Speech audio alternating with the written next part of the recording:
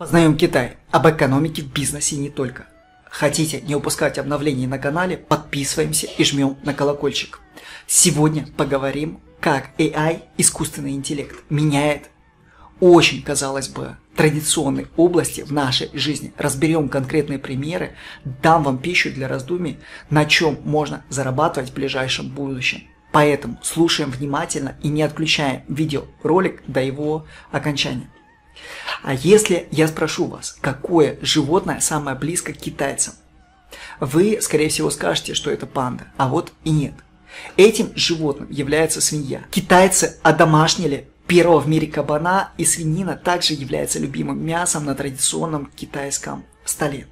А в 2019 году в мире было потреблено 110 миллионов тонн свинины. На китайский рынок пришлось 55 миллионов тонн. То есть китайцы съедают половину свиного мяса с одной пятой населения. Разведение свиней считается особенно традиционно в сельской местности. Но что интересно, в последние годы некоторые интернет-гиганты начали входить на рынок э, свиноводства – а производство свинины и его колебания цен имеют большое значение в макроэкономике Китая. Всем известно, что существует индекс CPI, Consumer Price Index, индекс потребительских цен, который относится к общенациональному индексу розничных цен на товар. Содержит он более 600 а, наименований товаров.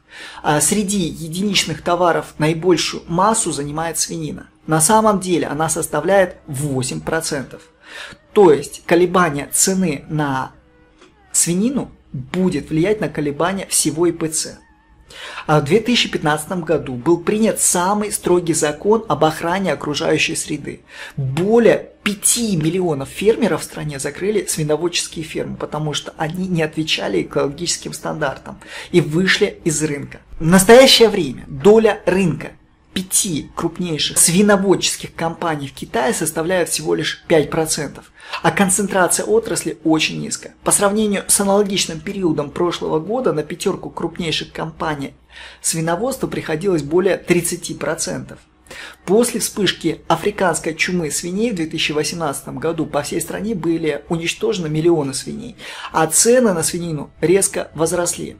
Сегодня многие новые технологические компании входят в свиноводство, начиная применять новые технологии, и это можно однозначно назвать революционным для традиционного свиноводства. Например, Alibaba недавно инвестировала в э, свиноводческую компанию. Они утвердили удостоверение личности и паспорта для каждой свиньи.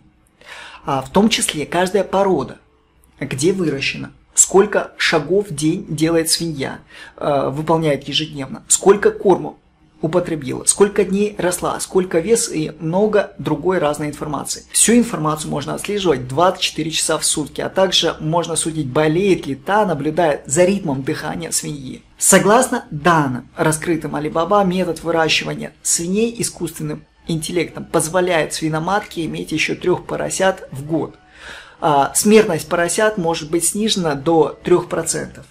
А GT.com также недавно инвестировал средства э, в свиноферму. Они позволяют роботам следить за свинофермой в течение 24 часов, а затем проверяют, соответствуют ли газы, температура, влажность на свиноводческой ферме. Существует также технология распознавания лиц свиньи. Свинья должна проходить сканирование лица перед каждым приемом пищи. Система может отслеживать, сколько корма съела свинья э, сегодня и сколько ей еще нужно съесть. А корм будет предоставлен той э, с точностью до нескольких грамм. Таким образом, возможно контролировать вес каждой свиньи с разницей в пределах 5%. Согласно традиционным китайским методам выращивания свиней, затраты на корма и рабочую силу довольно высоки.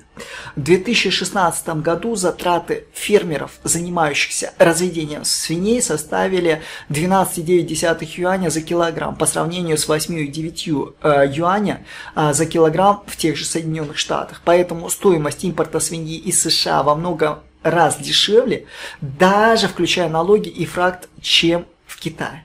А, после вступления в игру интернет-гигантов стоимость а, свиноводства может быть преобразована в рациональную модель управления предприятием.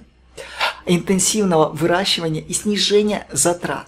Согласно данным, раскрытым а, тем же GD.com, использование искусственного интеллекта для разведения свиней может снизить затраты на разведение от 30 до 50%, позволит уменьшить использование корма на 8-10%, а также сократить время убоя примерно на 5-8 дней. Согласно ежегодному производству в Китае 70 тысяч свиней, соответственно, разведение свиней с искусственным интеллектом может сократить расходы на 50 миллиардов юаней в год. Итак, а, вы видите, что тот, кто уничтожит Facebook, не следующий Facebook, а тот, кто уничтожит свиноферму, не следующая свиноводческая ферма. Человек, который собирается заменить вас, никогда не будет в этом списке. Именно из-за широкомасштабного внедрения датчиков распознавания лиц и технологий искусственного интеллекта самая традиционная свиноводческая отрасль претерпевает революционные изменения. Уважаемые зрители, небольшой вопрос для вас. Если вы инвестор, будете ли вы вкладывать деньги в компанию, занимающуюся разведением свиней с искусственным интеллектом? Или э, в компании, э, занимающейся исследованиями и разработками микросхем? Почему? Давайте обсудим этот вопрос. Э, оставляем, пишем э, в комментариях под этим видео.